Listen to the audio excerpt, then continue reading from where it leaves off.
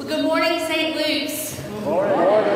The day has arrived and the big event is here, and we are so glad that you made it to this worship today. I'm Pastor Monica, one of the pastors here at St. Luke's. We are glad that you're here. If you are worshiping us um, for the first time, we want to connect with you. So you can um, go online to slumc.org slash connect. And there you'll find ways that we can get to know you, ways to connect with us as well. If you're worshiping online this morning, greetings in the name of Christ. And we hope that you'll go to our website as well, slumc.org slash connect.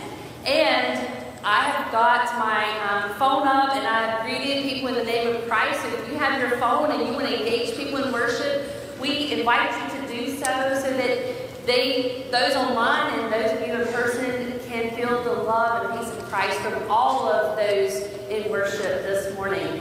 We have a full day of worship together, um, and so after the service, we will be led down into our Family Life Center where we have lunch for everyone. We hope that you will come and enjoy our big event together. And in our worship service, we'll have a prayer time.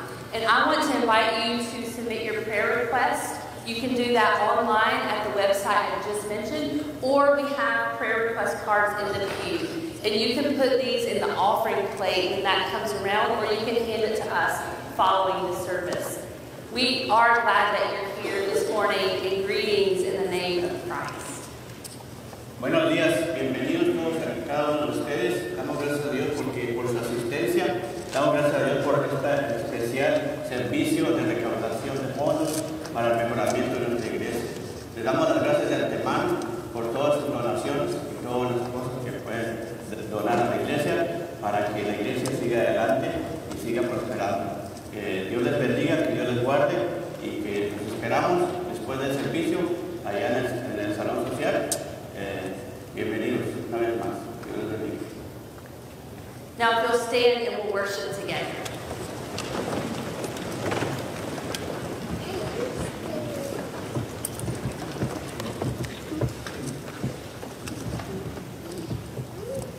God calls all of us. May our answer today and always be the words of our processional hymn. Please join me in hymn 593, all verses.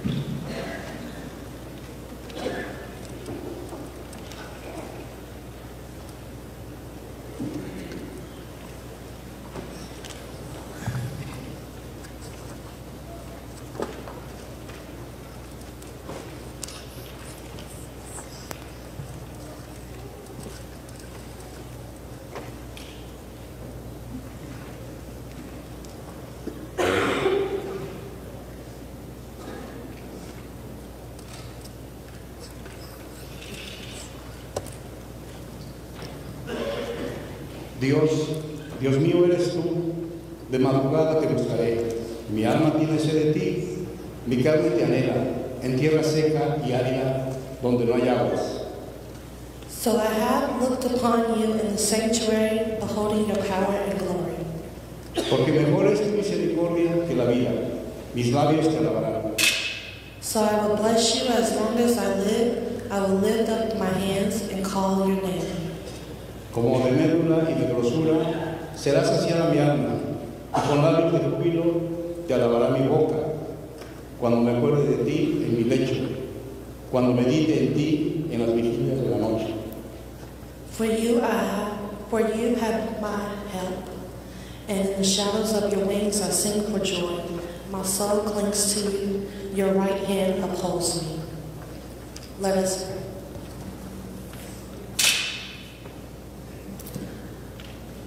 Holy God, we gather for worship to sing your praise and hear your word. Speak to us now that we may be wise enough to receive your call. Strengthen us now that we may be brave enough to answer when you call.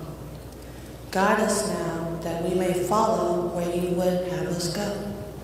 Be with us now that your spirit will move us in faith, commitment, and love. Amen.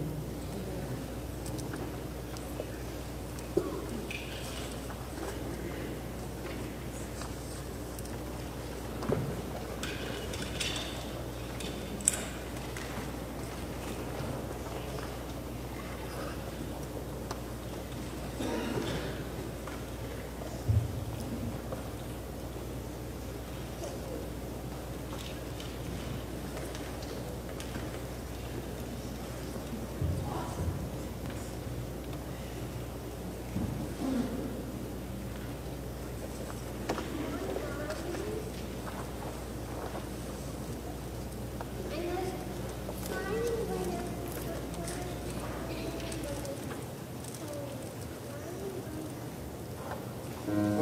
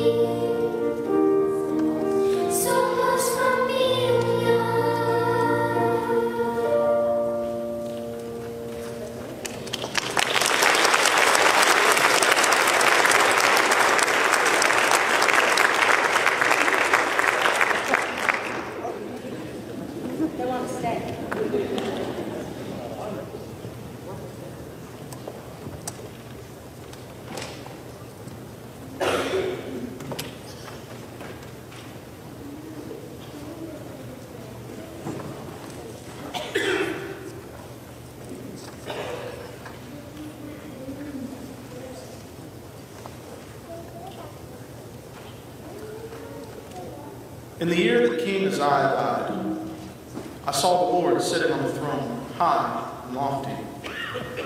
And the hem of his robe filled the temple. Seraphs were in attendance above him. Each had six wings. With two they covered their face, and with two they covered their feet, and with two they flew. And one called to another and said, Holy, holy, holy is the Lord of hosts. The whole earth is full of his glory. The pivots on the threshold shook at the voices of those who called, and the house filled with smoke. And I said, Woe is me! I am lost, for I am a man of unclean lips, and I live among a, pe- among a people of unclean lips. Yet my eyes have seen the King, the Lord of hosts. Then one of the seraphs flew to me, holding a live coal that had been taken from the altar with a pair of tongs. The seraph touched my mouth with it and said, Now that this has touched your lips, your guilt is departed, and your sin is blotted out.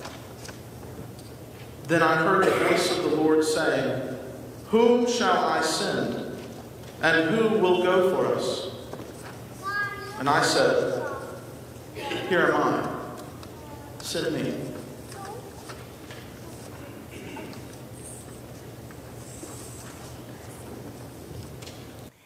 Let us pray. Holy God, like Isaiah the prophet, we stand in awe of your glory. Humbled before you and aware of our need for your grace. May your holy presence touch our hearts so that we are made clean and whole. God, uh, our Creator, continue to build this household of faith into what you want us to be. Christ, our Savior, lead us to do as you will. Spirit, our power, strengthen us for the work of the kingdom, a worship and a service which is ours today as well as tomorrow. Holy God, fill this place and us, your people, with your presence. Amen. Well, good morning, church. It is wonderful to, to be with you in worship as we come together in one unified time of worship this morning for a day of celebration to uh, be thankful for what God has done, is doing, and what God will do in the life of our church and in the ministry that we share. My name is Amy Spivey, and I am privileged to be one of the pastors here in this congregation. And I am so thankful that we are able to share together on a beautiful uh, spring day. It's officially spring, right? I think today the sun is shining, the air was nice and crisp, yet the sun was warm, and God has welcomed us into this place today. And we have heard the word from Isaiah this morning, the prophet. As we think about that text today, I'm reminded of a captivate, captivating moment in cinematic history. Now, Think with me for a moment. There's a little lion cub, and he's going to be presented to a host of animals, and his name is Simba. Now, maybe you know who Simba is, and probably some of this crew right up front here knows who Simba is. Yes, we even have a hand waving, right? Simba is going to be presented to those who, inhabit the Pride Lands. Now, Rafiki, who is a mandrill, is a spiritual guide for the lions, and he steps out onto the Pride Rock and he lifts baby Simba up and presents the lion cub to all the animals of the Pride Lands. Now, this presentation evokes cheers and excited calls by the animals. And all the while, the music is building, and this is what's being sung. It's the circle of life. And it moves us all through despair and hope, through faith and love, till we find our place on the path unwinding, the circle of life. Right, this scene from The Lion King is awe inspiring for the animals. All of those who are cheering and who are excitedly calling to the one who will become their king. But it's also, I think, awe inspiring to those who are watching it on the screen. Right now, I have seen this particular movie in varying seasons of my life, and maybe you have too. Right? Maybe you remember seeing it when it was first released. I do. Or maybe you remember watching it at some point along the way with your kids or with your grandkids. Maybe you've seen the stage version. Maybe you've seen the, the stage version of it. Right? It comes to life. And every single time I've seen it, I've been moved by it. Now, I rewatched it in preparation for today a number of times, and every time I still get goosebumps. Right? It's, it, it, it's a moving scene in that film. Right? I'm awestruck by the, the vivid colors and all the lively sounds, and of course, that compelling story as Simba is raised high over the Pride Lands. Now, you see, to be awestruck by something or by someone, according to a dic- dictionary definition, is to have an overwhelming feeling of reverence or admiration or fear produced by that which is grand or sublime or extremely powerful. Now, if I could have shown you that clip, I would have. And you're probably thinking, why didn't Pastor Amy show you that? Well, because Disney is, is very tight on copyright, and I'm not allowed. But you can go home today and Google it and watch it again, or put it in your DVD player, or find it on your streaming um, Disney Plus, wherever you want, and watch it again, right? Because it's a reminder of what it means to be awestruck right? A feeling of reverence, right? Being overwhelmed or overcome by something grand. And I would imagine that even beyond the, the cinematic creation like The Lion King, we're probably awestruck by our lives, maybe even on a daily basis. Maybe a vivid sunset. I, did you see the sunset Friday night? Like it was amazing Friday night, a vivid sunset. Uh, maybe your child walks for the first time or says their first word. Maybe a music concert or a mountain vista or a remarkable work of art or even a, a historical landmark. Moments of awe come in both the simplicity of everyday life as well as those monumental experiences of creation and the world around us. You know, like a Grand Canyon, Northern Lights, Cinderella's Castle, Eiffel Tower, giant sequoias, grandfather mountain, swinging bridge kind of experience. You know those kinds of experiences that you've seen and been awestruck by them?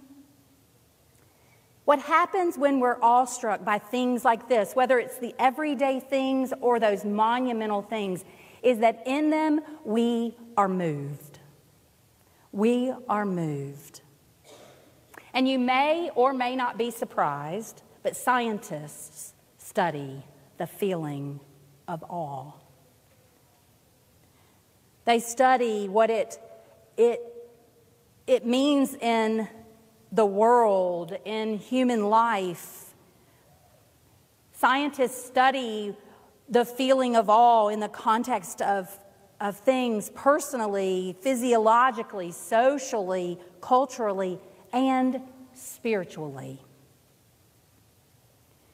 Now, Ralph Waldo Emerson, an American poet and essay, essayist, writes in his essay Nature about the feeling of awe, what it means to be awestruck by something. So, hear this within these plantations of God, standing on the bare ground, my head bathed with the blithe air and uplifted into infinite space, all egotism vanishes.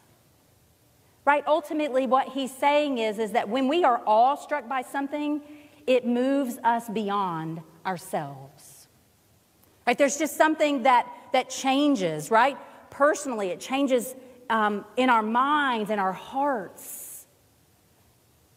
Right? And, and we realize that, that it often changes our countenance. If we're standing before the vastness around us, something that we're connecting with, we find ourselves open to it. And that does, as Emerson says, takes us beyond ourselves. And in a sense, we become small, don't we? If we're all struck by something, we feel humbled by it. We maybe even at times have said, I shrink before it. That's kind of how I felt when, when my family several years ago went to Mount Rushmore and I stood below those, those faces that in pictures seem really small, but then standing below it, and we happened to be there on a beautiful day like today. I mean, they I was just I shrunk before them. So if we're humbled and we're moved, right, by being awestruck, we do, we do that in jaw dropping, smile raising, tear shedding, and goosebump feeling kind of ways. And people study goosebumps too, you know.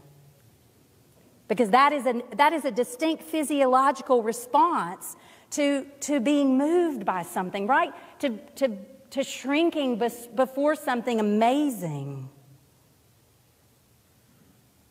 Now, maybe you've come along these reflections about being awestruck and the feeling of awe, and you're beginning to make the connection. Making that connection to Isaiah. Right? We, we see an image before us of Isaiah. Now, we can guess which of the images in that picture is Isaiah, right?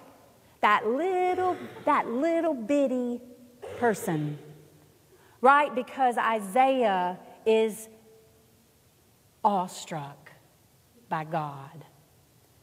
Isaiah is having one of those jaw dropping, smile raising, tear shedding, goosebump feeling kind of moments, right? And Isaiah, Isaiah comes before God, and his name literally means God saves. So if Isaiah is going to be one who is going to go for God, who's, who's going to who's going to speak for God as a prophet, then think about the, the power in his name as he goes God saves. Now, in the text that we heard today, we realize that that Isaiah is meeting God in a holy moment. Right? God is the holiest of holies. And, and really, holy just means sacred, right? Something or some, someone who is holy is worshiped, is, is sacred, is lifted up, is venerated. And literally, Isaiah stands before God in the temple and he sees himself smaller and deeply humbled. Isaiah is literally awestruck, right? A goosebump, kind of awestruck. Now, in this divine vision, which is often called in this particular part of Isaiah, a divine vision for the prophet, for the one who is going to speak for God, who's going to go to where the people are and tell them about God and remind them about their life with God. We realize that, that this vision of God, high and lofty, right? This vision of God so magnificently holy, right? A vision where the scripture says God's robe, the hem of God's robe, fills the temple. You see, this is a, a vision that brings Isaiah into an awe inspiring moment, right? Isaiah is moved. Now, let's look a little bit more into that passage because there's lots going on. Right? As God is, is filling the space with God's robe, there are seraphs, it says, who are soaring above and around God. And there are occasions, particularly in the Old Testament, where there is a mention of seraphs, right? Heavenly beings, angels, if you will. Now, Isaiah's account of a seraph is a little bit different than others, but these heavenly angels are, are serving God. They even call out, Holy, holy, holy. Right? We hear that. That's an, that's an ancient hymn. That's an ancient hymn, and we, we hear it if, if you've been a part of Holy Communion here with St. Luke's. We hear that holy, holy, holy spoken. Right? So when the seraphs who are who are in this divine vision soaring around God, there's shaking of the temple and there's smoke. Wow. What a remarkable image of the presence of God an awe inspiring moment when Isaiah is moved. Now, I want to just share with you a few ways that, that the, the story, the scripture reading tells us of how Isaiah is moved. First, Isaiah sees himself with humility, right? He shrinks before God. You see, this is where he finds himself realizing that he needs God, that he needs God's salvation. So much so that in this moment he feels rather unworthy because he says, I am lost, for I am a man of unclean lips. And I kind of imagine that his inner voice is saying, There is absolutely no way that I can speak for God. I'm not worthy, I'm lost. Now, the, the second way that I think Isaiah is moved is, is when one of the seraphs touches Isaiah's mouth with a hot coal saying, Your guilt has departed and your sin has been blotted out. Now, fire is commonly used to, to purify or to cleanse. So, if he is feeling lost and unworthy, the seraph comes and touches his lips to make him clean. So, Isaiah is symbolically cleansed and receives forgiveness and freedom. And he is worthy standing before God, ex- being extended God's forgiveness. Now, the third thing that I want to say about Isaiah being moved by his awe inspiring encounter with God is that Isaiah is called to serve. Now, the Lord asks, Whom shall I send and who will go for us? And Isaiah says, Here I am, send me. Isaiah's awe inspiring experience transforms his life and makes him ready to serve. You see, in his service, he will speak for God, he will reflect God, the one who is sacred, the one who is revealed, the one who is worshiped, so that others might know and be transformed by God as well. So, Isaiah, God saves, says, Here I am, Lord. He will bring to the people that life changing, awe inspiring salvation of God. And I think today, as we look at this, this divine vision, this call of Isaiah, we can probably ask the same question that we heard Chris read from Isaiah 6 8 Who will go for us? And I wonder today, will we, like Isaiah, be awestruck and moved by God? Now, I was working in a church office one day some years ago when a young man who had become a part of the church where I was serving through marriage, he knocked with urgency on my door. Like he, he knocked. He was in a frenzy, and after he had made a hurried drive to the church, it took a, a, a couple of minutes for me to gain clarity about what his purpose was for visiting. He had had a heartfelt, awe inspiring encounter with God, and he was moved. He was more aware than ever before that he needed God.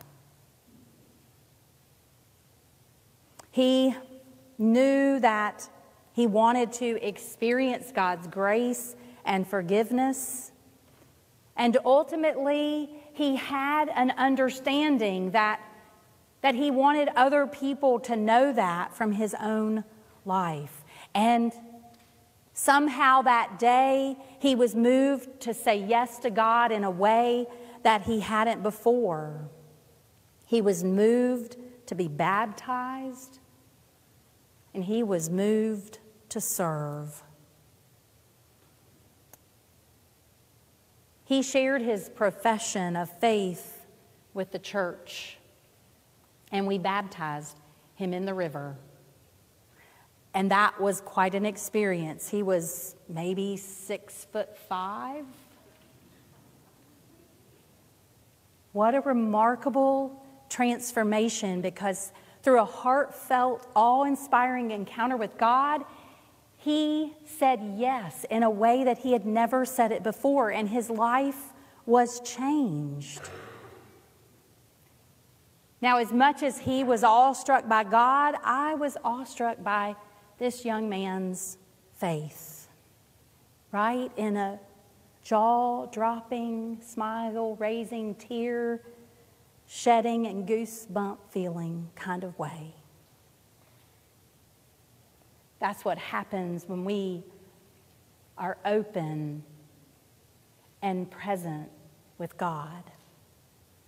That's what happens when we, as a worshiping fellowship, right, as those who are willing to, to sing the praises of God, to experience the joy of, of children those who are willing to share our hearts of prayer and thanksgiving. When we're willing to stand and come before God, open ourselves up, then I believe that we will be all inspired by the work of God in our lives and in the lives of those around us. Now, I don't know your hearts today. I don't know your, your lives of faith. Maybe you, in thinking about Isaiah's call, how Isaiah stands before God, maybe you will experience an awe inspiring moment with God today, and maybe that will be an opportunity for you to say yes to God in a way you've never said yes before. Or maybe you will be reminded and will know today for the second or the 14th or the 200th time, whether it's the first or the 200th, that God offers us grace and forgiveness and seeks to, to offer us the opportunity to respond. So maybe we today, church, will know of that love, that forgiveness, that grace. We will know that we are worthy, like Isaiah, to be people who answer the question that's offered by the Lord in front of Isaiah Who will go for us? Now, whether it's your first time of saying yes today or it's your 200th, I pray that you will know the presence of God. And if you have a desire in faith to learn more, to experience more, to know more, to, to draw closer to God, and, and want to talk with Pastor Monica or with me, we will be glad to do that. But we pray that, church, we will be moved, that we will be awestruck, that we will be inspired, so that no matter where we are on our journey of faith, that we, like Isaiah and like the young man who, who knocked on my office door, that we will be moved to respond to God. I pray that in faith, we, as God's church, St. Luke's, will seek to reflect God to offer God to others so that others will be moved and that we will know that forgiveness in such a way that we can share it with others. Who will go for us?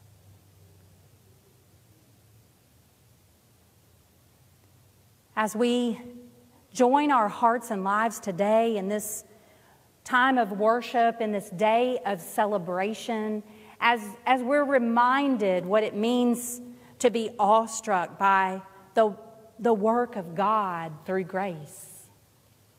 As we think about Isaiah, whose life was completely changed so that he might speak for God and share that message God saves.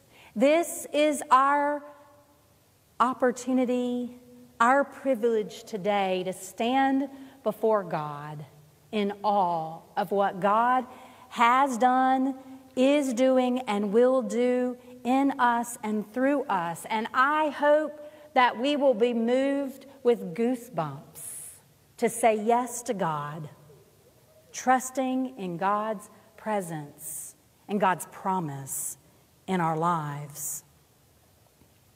So, this is our opportunity today, church, to prayerfully consider that question Who will go for us? Who will go for us? I believe that God will enable us in whatever way we can to respond. And so I'm going to invite us into a time of prayer. Now, I'm going to give you the opportunity. If you would like to stand where you are, if you'd like to stay seated, that's fine. I'm going to give you that option. But if you feel so moved to stand for a moment as we pray together, I want to invite you to do that. So we can go to God in prayer, we can close our eyes and stand if you feel led this morning. Gracious God, who will go for us, the angel said.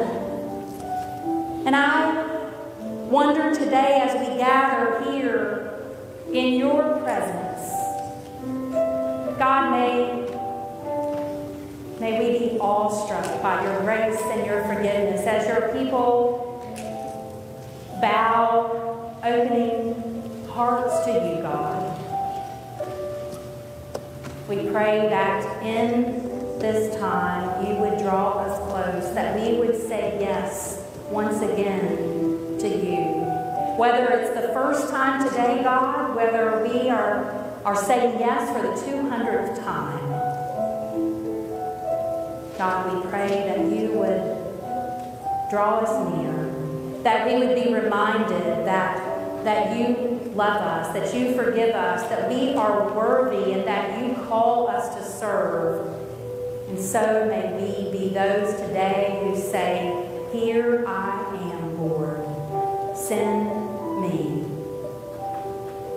And God, we know that, that we are your people, St. Luke's, the ones who you are leading into a hope filled future.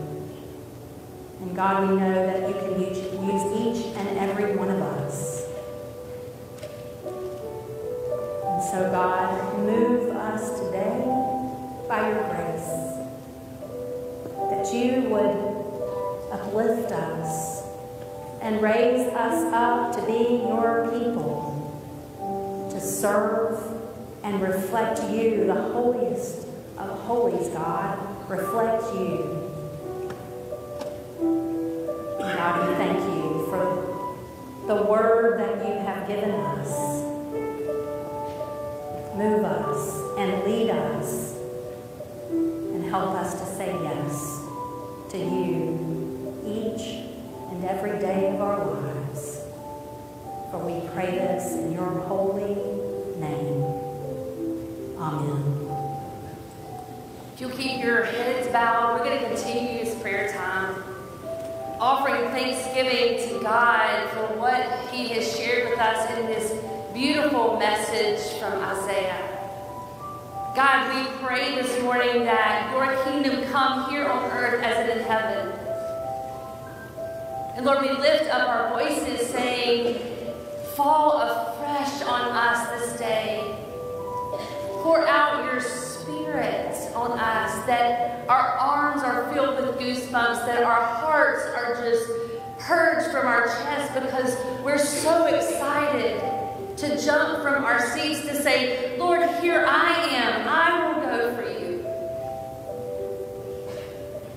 Oh, holy and gracious God, your grace knows no bounds. That you pursue us day in and day out. You tell us that we are a child of God, that we have value beyond who we think we are, but we have something far greater because you have given it to us. That you tell us of this love that knows no limits, and you pour it into us that we might breathe it out and pour it out into others. And so, God, we come to in places like this seeking those wings of protection in our life. We come, oh God, wanting something more from the ordinary things that we face in our life. Those, those things in the trials that we say, Lord, help us. We come seeking a way to help our neighbor because we see with compassion and empathy what they're going through. But Lord, sometimes we don't know how to help. And so, Lord, we pray that you will give us what we need. Through your Holy Spirit, work in and through us. Not only that we might be transformed, but we might be an instrument of your grace that offers that transforming hope to others. God, you have called us to a time such as this to say, Come on, church, I love you. Let's go together. Out into a world where people need love and hope and grace. God is asking us this morning who is with him? Who will go for us, as Amy just asked? And so, God, we lift that up this morning, that prayer. Let us ask ourselves, oh God, is it I, Lord? Is it me who you are leading? I, Lord, who you are calling to go into the hospitals and to see people? Is it I, Lord, who I need to go into my neighborhood to visit my neighbor that I might not know? Is it I, Lord, that I need to come and serve because you've given me a voice to be able to speak life and hope into each other? Is it I, Lord, who have went through the hells of fire in life that I need to share those situations with my neighbor because they stand in the place where I was? I, Lord,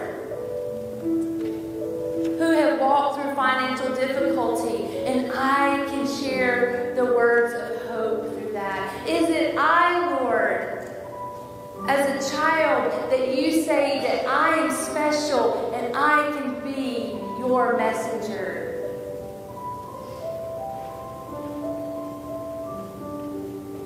God, we stand in all from your word that you would call Isaiah, and Isaiah would be humble.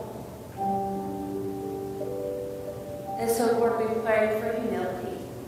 We pray for vulnerability. And we pray that your kingdom come here on earth as it is in heaven. And we lift up our voices in unity and thanksgiving with the same hope in the prayer that you taught us to pray. Our Father, who art in heaven, hallowed be thy name. Thy kingdom come, thy will be done, on earth as it is in heaven. Give us this day our daily bread, and forgive us our trespasses, as we forgive those who trespass against us. And lead us not to temptation, but deliver us from evil. For thine is the kingdom, and the power, and the glory forever. Each week, our ushers come forward and they grab these baskets or plates and they pass them out, and it's a time of response uh, for, for our congregation to give. Response to God's word, response to where God is doing in our life. And so sometimes we may ask the question, why do we give? And I want you to take a look at this.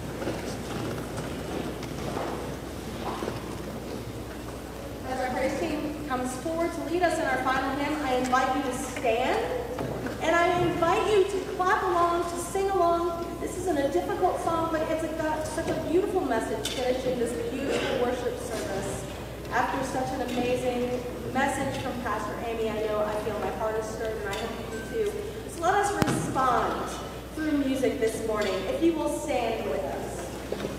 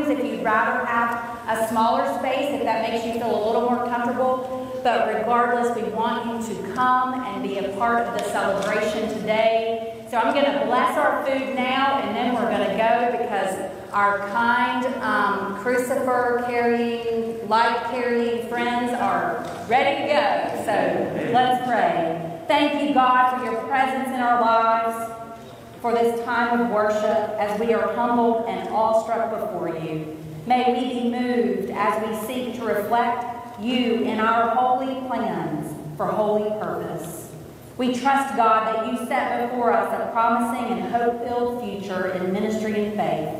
We offer you our gratitude for the food, for the hands that have prepared it, for those who are serving it, for the fellowship that we will share around the table. God, we thank you for those who have given their gifts, their time, and their service to make this possible. And in all things, God, we pray that you would bless us as we eat together and celebrate this day. In the name of Christ we pray. Amen. Go in peace.